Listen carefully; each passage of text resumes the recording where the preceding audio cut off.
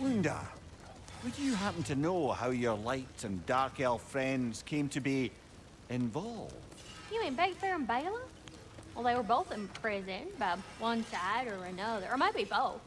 Escaped together, those been were on the run, and absolutely all over each other ever since. A dark and light elf fleeing their people together. Quite a risk. Being in love's always a risk. That's what makes it fun. You could say the same about hot cheese.